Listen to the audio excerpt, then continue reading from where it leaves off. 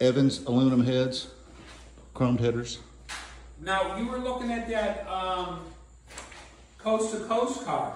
No, I was helping a buddy out. Ah, Needing a hood for it, trying to figure out what it was. a hood for it. You get a hood from Rootlieb hoods. Steve, you know where all my pictures are in my car?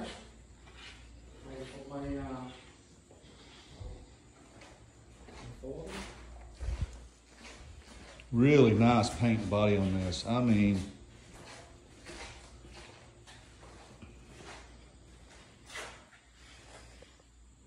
I wonder if that's even at.